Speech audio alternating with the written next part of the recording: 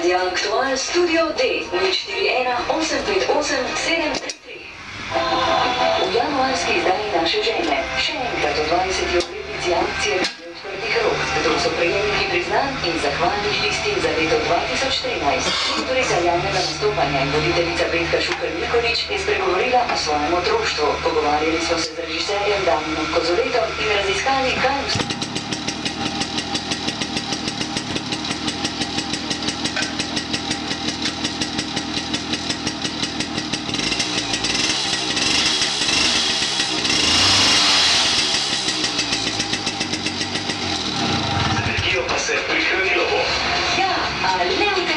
su, vam na mesto običajnega obradijo do